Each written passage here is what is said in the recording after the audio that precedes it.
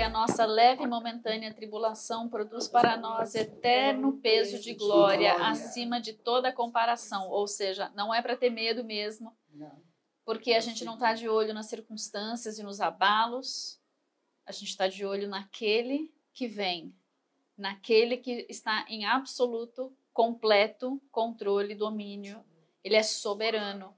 E nós não precisamos temer, amados. Tem aquele medinho básico, mas nós sabemos quem somos nele, sabemos quem ele é e conhecemos os tempos. Então é por isso que conhecer não gera medo e pavor, pelo contrário, gera esperança, gera preparo, gera identidade, gera tudo de bom.